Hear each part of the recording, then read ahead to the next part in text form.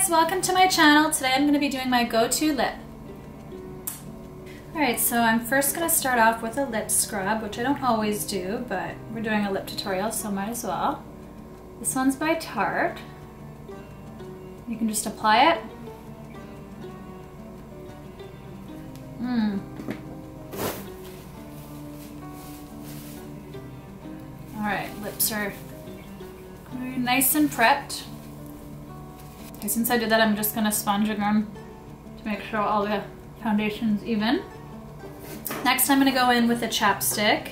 I like this one because it's vanilla flavored. Nice and hydrated. So I'm gonna go in with my favorite lip liner of all time. This one's by Laura Mercier. It's called Chestnut, and it is my favorite. I've been using it for years.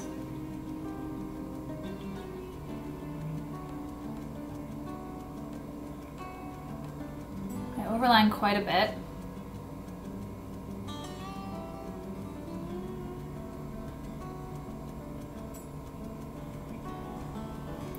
I always accentuate my cupid's bow.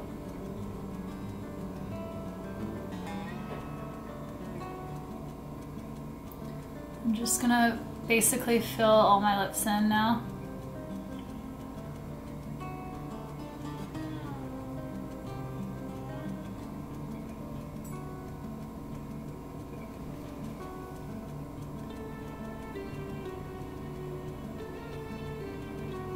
Okay, now that that's ready to go, I'm gonna go in with my Tarte lip paint. This is in the shade Rosé.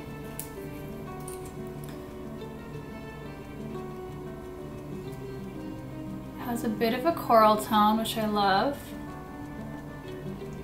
And this is a paint, so it's gonna dry. So I'm just gonna let it dry for a minute. Also makes it long wear, which I love about that because I'm usually eating and drinking and hopefully kissing throughout the night. So, just wait a few minutes.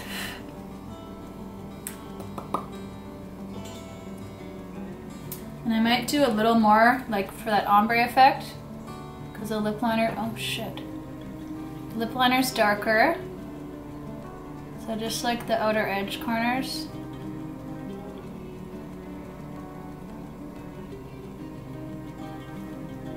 Next I'm going to continue the ombre with this NYX Soft, Soft Matte Lip Cream in the shade Caro.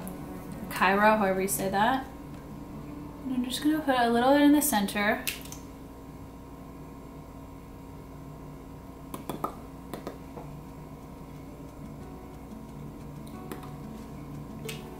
Like so. And now for the gloss. First I'm going to use this KKW gloss in the shade yellow golds and I'm just going to use this on the outside. Again, to keep that ombre effect going.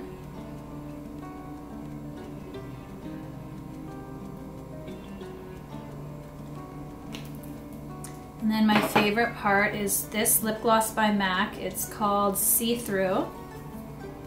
And again, I'm just gonna put that at the center.